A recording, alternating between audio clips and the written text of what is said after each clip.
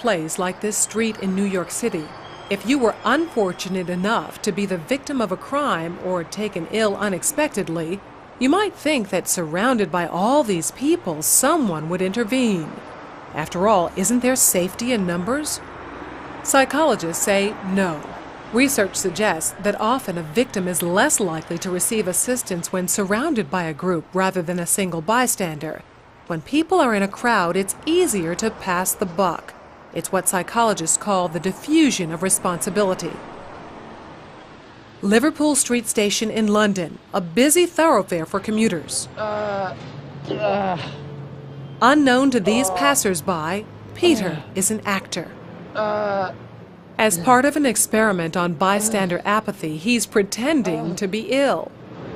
help, help, How long before he gets help? please, somebody, help, help me, son. please help me. Helping would be inconvenient or even risky. He lies there for more than 20 minutes and no one raises an eyebrow. Please, somebody help me.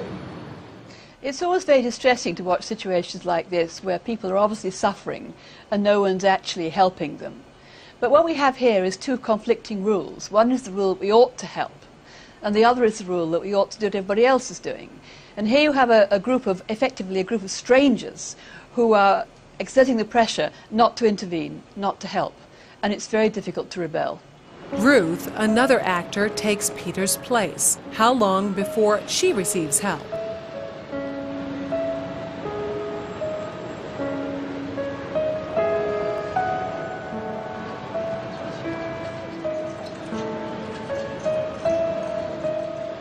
Four minutes later, and 34 people have passed without stopping.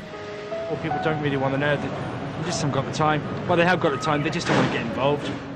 Unwittingly, these strangers have silently formed a temporary group with a rule don't get involved.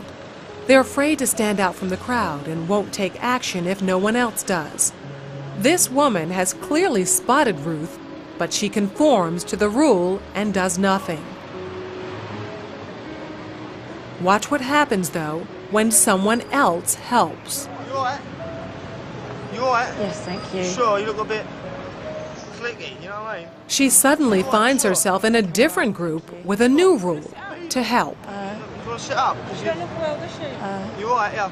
Yes, you are. First I thought she was dead. Then I sort of checked to see if she was breathing or not. And I looked around and I couldn't believe that no one had noticed her because there was a bloke sat there just absorbed in reading a newspaper.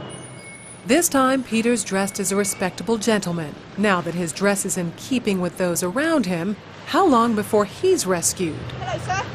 How are you today? I'm alright. Six seconds. She even calls him Sir, and suddenly oh, everyone's a good Samaritan. Do you suffer from epilepsy? No. Why you're lying on the floor in the rain?